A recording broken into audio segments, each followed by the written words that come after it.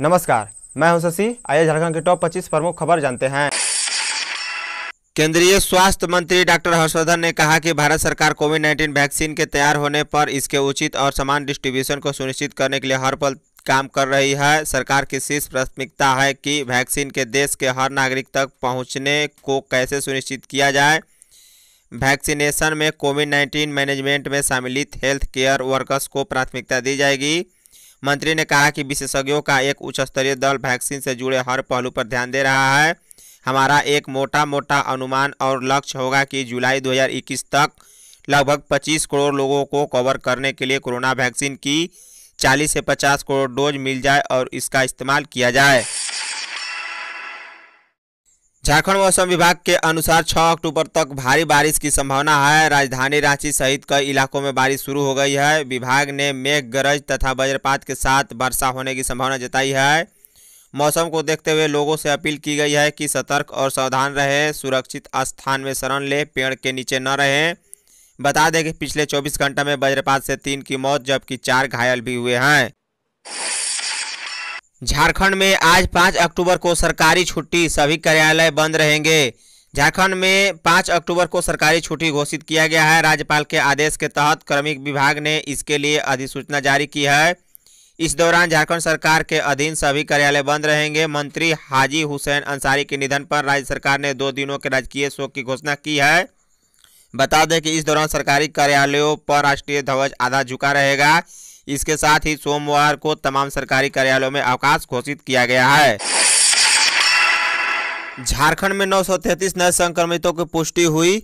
जो बोकारो से उनचास चतरा सात देवघर तीस धनबाद पचपन दुमका दस पूर्वी सिंह चौहत्तर गढ़वा चौदह गिरडीह अठारह गोड्डा बत्तीस गुमला छब्बीस हजारीबाग इकतीस जामतला अठारह खुटी सत्रह कोडरमा सत्रह लातेहार इकतीस पाकुड़ छः पलामू दो रामगढ़ बाईस रांची तीन सौ चौहत्तर साहेबगंज दस सरायकला खरसावा इक्कीस सिमडेगा पाँच पश्चिमी सिंहभूम से चौंसठ मिले हैं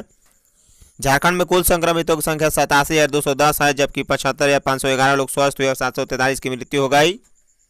भारत में कुल संक्रमितों की संख्या छियासठ लाख बाईस हज़ार एक सौ छत्तीस है जबकि पचपन लाख तिरासी हज़ार चार सौ चौदह लोग स्वस्थ हुए और एक लाख दो हज़ार सात सौ चौदह की मृत्यु हो गई भारत में नए केस चौहत्तर हज़ार सात सौ छब्बीस मिले हैं जबकि छिहत्तर हज़ार छह सौ चौहत्तर लोग स्वस्थ भी हुए हैं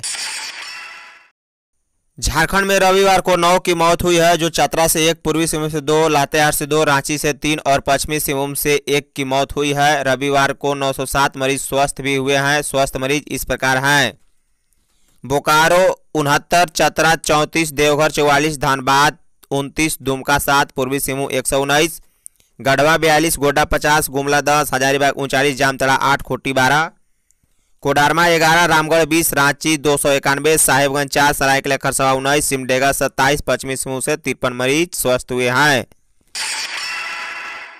शिक्षा मंत्री के हालात में नहीं हो रहा सुधार राज्य के शिक्षा मंत्री जगन्नाथ महतो की गंभीर स्थिति में कोई सुधार नहीं है बल्कि संक्रमण लगातार बढ़ता जा रहा है बता दें कि मेडिकल अस्पताल में जांच के दौरान उनके फेफड़े में संक्रमण देखा गया है कोविड के बाद सेवियर नमोनिया से ग्रसित मंत्री जगन्नाथ महतो अब फेफड़े के संक्रमण के भी चपेट में आ गए हैं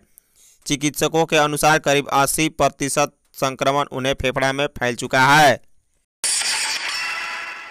पीपरा में सुपुर्द ए खाक हुए मंत्री हाजी हुसैन राज्य के अल्पसंख्यक कल्याण मंत्री हाजी हुसैन अंसारी के निधन के बाद उनके पैतृक गांव पीपरा में रविवार को सुपुर्द खाक किया गया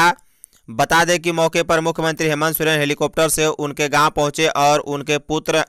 हाफिज उल हसन से मिलकर ढांढस बढ़ाया कृषि मंत्री बादल पत्रलेख सहित पूर्व कृषि मंत्री विधायक सारठ रणधीर सिंह पूर्व श्रम मंत्री आदि सम्मिलित हुए हाथरस की घटना के खिलाफ आज झारखंड में कांग्रेस करेगी सत्याग्रह उत्तर प्रदेश के हाथरस में दलित युवती के साथ हुई घटना और कांग्रेस के पूर्व अध्यक्ष राहुल गांधी व प्रियंका गांधी के साथ हुए दुर्व्यवहार के खिलाफ कांग्रेस सोमवार को राज्य भर में सत्याग्रह करेगी बता दें कि राज्य और सभी जिला मुख्यालयों में महात्मा गांधी या डॉक्टर भीमराव अम्बेडकर की प्रतिमा के समक्ष कांग्रेस के नेता और कार्यकर्ता सत्याग्रह करेंगे राजधानी में पार्टी के प्रदेश अध्यक्ष और राज्य सरकार के मंत्री डॉक्टर रामेश्वर उराव के नेतृत्व में मोराबादी स्थित बापू बटका में धरना होगा झारखंड में पचासी हजार चिकित्सक और पारा कर्मियों की बहाली की जरूरत बाना गुप्ता राज्य के स्वास्थ्य मंत्री बाना गुप्ता ने रविवार को गिरिडीह पहुंचे और पत्रकारों से बातचीत के दौरान कहा कि राज्य में चिकित्सक और स्वास्थ्य कर्मियों की भारी कमी है उन्होंने कहा कि करीब पचासी हजार से अधिक चिकित्सक और कर्मियों का बहाली होना जरूरी है तभी स्वास्थ्य सुविधा को पटरी पर लाया जा सकता है उन्होंने कहा कि बहाली की दिशा में प्रयास चल रहा है खुद मुख्यमंत्री इसके लिए प्रयासरत हैं कोर्ट का अड़चन बताते हुए मंत्री ने कहा कि कोर्ट से जो समस्या है वो दूर होते ही बहाली की प्रक्रिया शुरू होगी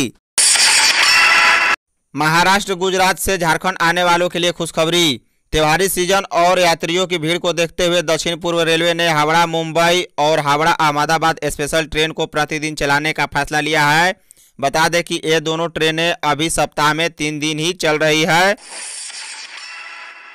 अट्ठाईस फीसदी बच्चों तक नहीं पहुंच रहा ऑनलाइन लर्निंग मटेरियल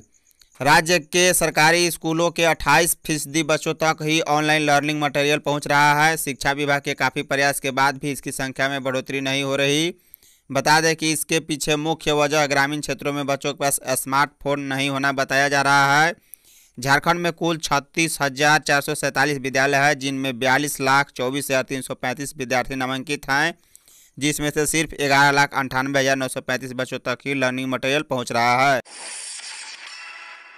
वोटरों को रिझाने के लिए शराब की मांग बढ़ी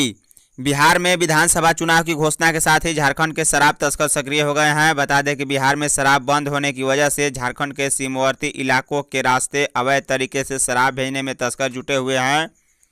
तस्करी के लिए अलग अलग रूट भी तलाश लिए गए हैं खास बात यह है कि घने जंगल के रास्ते से लेकर सोन नदी की धार पर नाव के सहारे भी शराब उस पर भेजी जा रही है देवघर डीसी कमलेश्वर प्रसाद सिंह ने रविवार को बताया कि झारखंड सरकार द्वारा अनलॉक फाइव से संबंधित दिशा निर्देश जारी कर दिया गया है इसके तहत राज्य में कंटेनमेंट जोन के बाहर सभी धार्मिक स्थल खोले जाएंगे इसके लिए 8 अक्टूबर से पहले सरकार द्वारा दिशा निर्देश जारी कर दिया जाएगा इसके अलावे दुर्गा पंडालों में चार फीट से ऊँची मूर्ति स्थापित करने की इजाज़त नहीं होगी बता दें कि फिलहाल स्कूल कॉलेज कोचिंग संस्थान एवं सिनेमा हॉल को खोलने को लेकर किसी तरह के राहत सरकार द्वारा नहीं दी गई है राज्य के सभी जिलों के पंचायत में चलेगा कांग्रेस का हस्ताक्षर अभियान केंद्र सरकार द्वारा पारित तीनों किसान कानूनों के विरोध में झारखंड प्रदेश कांग्रेस कमेटी राज्य के सभी जिलों में हस्ताक्षर अभियान चलाएगी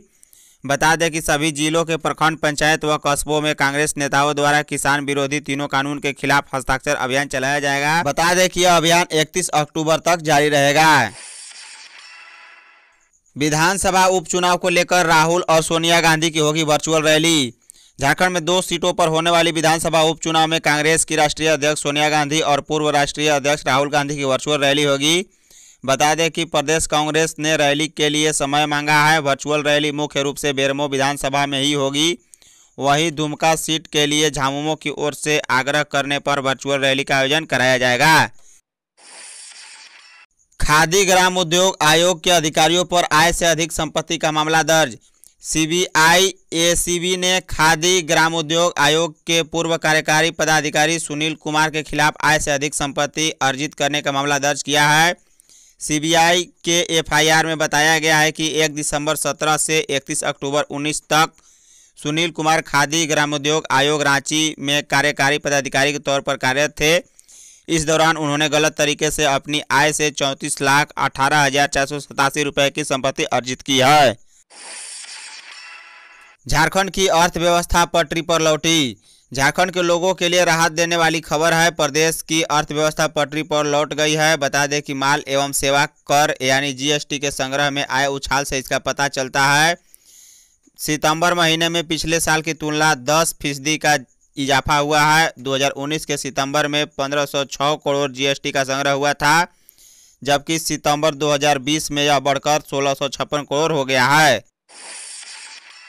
सरना कोड मांग को लेकर 15 अक्टूबर को राज्यव्यापी चक्का जाम सरना कोड की मांग को लेकर केंद्रीय सरना समिति एवं अखिल भारतीय आदिवासी विकास परिषद ने 15 अक्टूबर राज्यव्यापी चक्का जाम का आह्वान किया है इसे लेकर समिति के द्वारा राज्य भर में जागरूकता अभियान चलाया जा रहा है